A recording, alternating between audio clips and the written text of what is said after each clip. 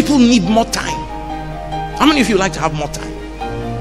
The only time you will have in this world is 24 hours for one day. That is shared equally to rich and poor, man and woman, intelligent and unintelligent. It is one resource that God gives equally with appropriate use of time. You can become anything. It doesn't matter how you were born. You may be born poor, but you have 24 hours. That's why Moses said that we may apply our hearts unto wisdom. Wisdom is so critical. The Bible lets us know that wisdom is vital and money is vital. So it tells us these two defenses money is a defense, wisdom is a defense. But it says it is in this place that wisdom excels money, in that it gives life.